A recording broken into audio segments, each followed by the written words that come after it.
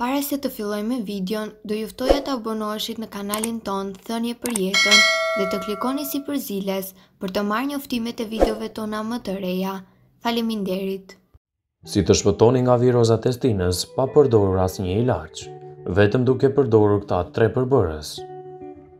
Hundët e zëna, teshtimat, vështirësi në frymëmarrje, dhe pastaj situata që përkeqësohen me ethe dhe dhimbje të muskujve.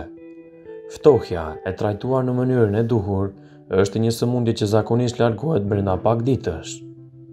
Nuk ka nevojë për trajtime të cilat mund të kenë shumë përdorime të medikamenteve dhe të cilat mund të lenë pasoja në organizmin tuaj.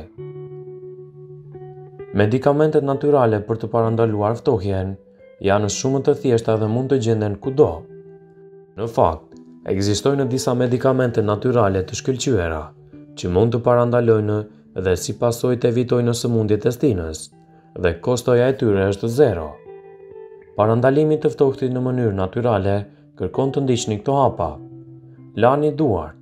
Mos u fiksoni të qëndroni gjithmonë para një lavamani për të larë duart, por mbani mend se larja e tyre shpesh gjatë dimrit është rregulli i parë kundër parandalimit të ftohjes dhe funksionon si një orë. Kujdesi nga teshtimat. Mbani mend se fluskat e përcjella nga një teshtimë udhëton me shpejtësi 150 kilometra në orë. E vështirë për t'u shmangur, sidomos kur jeni në vende me shumë njerëz, si supermarket ose kinema. Zgjidhja më e thjeshtë është që të qëndroni larg personave të sëmurë dhe me grip. Mos e nënvlerësoni ujin. Është një përfitim primar dhe shumë i çmuar në parandalimin e gripit. Duke pirë gjatë gjithë ditës, uji eliminon toksinat dhe rindërton trupin, çka është e domosdoshme gjithashtu, sidomos për djersitjen. Duhet të pini disa litra ujë në ditë, duke pasur parasysh gjithashtu që edhe frutat dhe perimet përmbajnë ujë. Lëngje frutash ose perimesh duhet t'i konsumoni çdo ditë.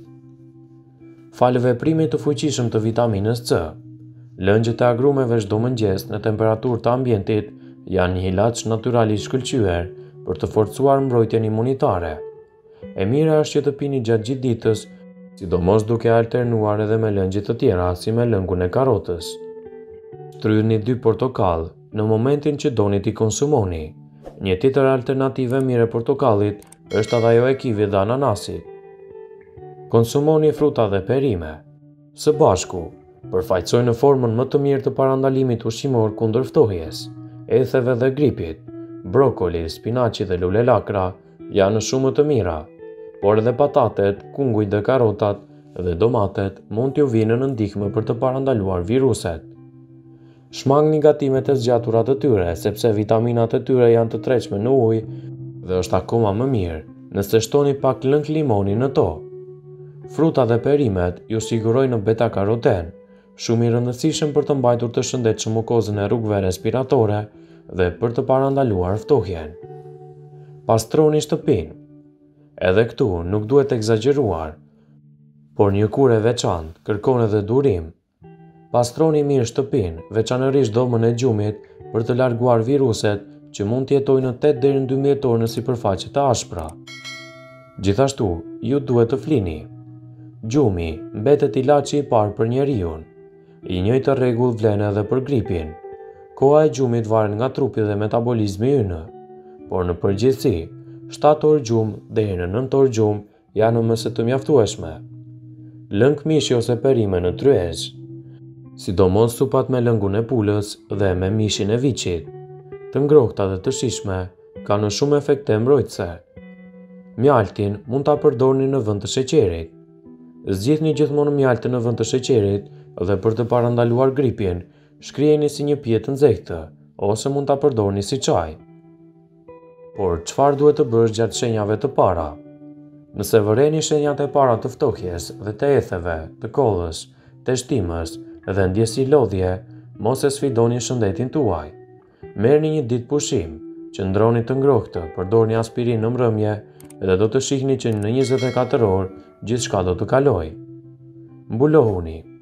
Stinët e ndërmjetme që përmbajnë kalimin nga moti i ftohtë në të nxehtë dhe anasjelltas janë më të rrezikshme për sa i përket gripit.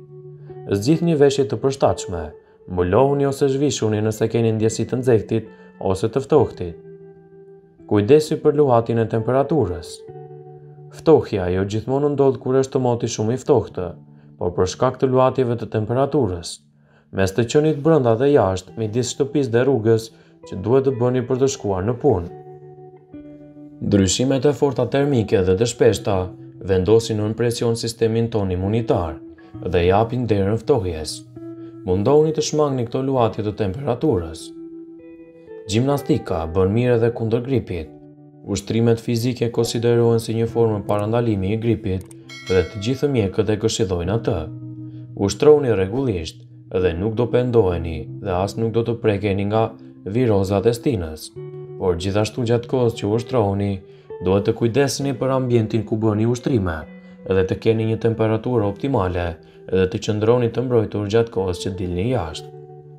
Pasi ta dëgjonit këtë video, do ju ftoja t'i bënit like, dhe ta shpërndanit atë në profilin tuaj në mënyrë që të informohen dhe miqtë e tu. Gripi mund të shkaktojë probleme serioze në shëndetin publik dhe atë ekonomik. Në vendet e zhvilluara, epidemitë mund të rezultojnë në nivele të larta të mungesës së punonjësve dhe të rënies të produktivitetit. Në shumë komunitete, klinika dhe spitale mund të hasin probleme kur mbipopullohen nga një numër i madh i pacientëve gjatë periudhave të pikut të sëmundjes. Me kalimin e moshës, çdokush mëson se si të marrë masa mbrojtëse ndaj të ftohtit ose viruseve të ndryshme gripale të stinës.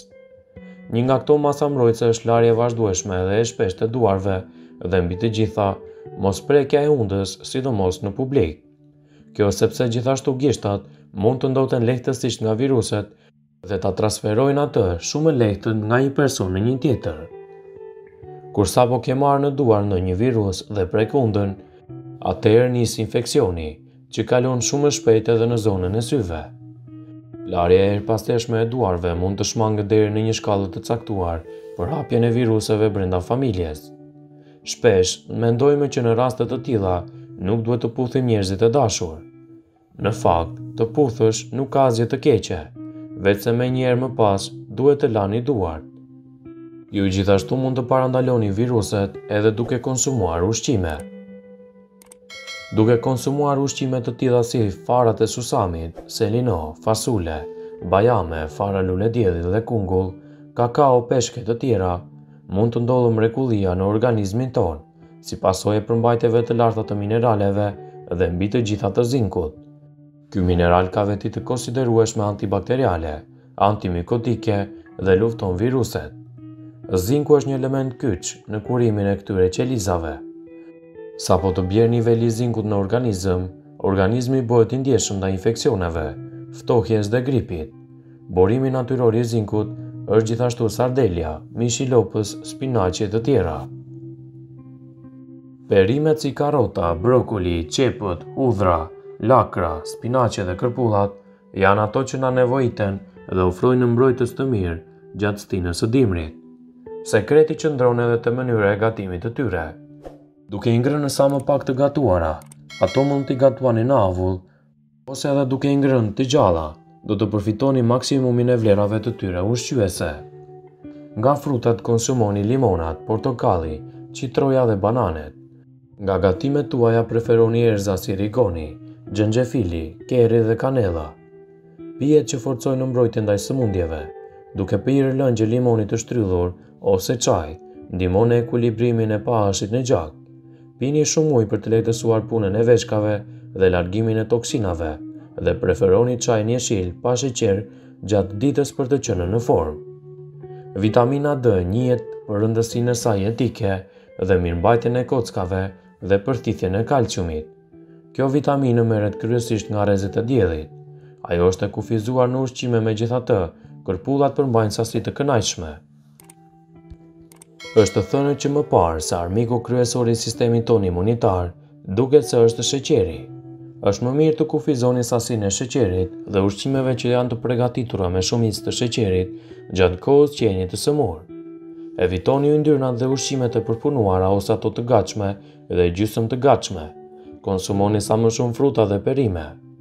Mos neglizhoni respektimin e një regjimi të rregullt për sa i përket vetëm ushqimit, por edhe fjetjes.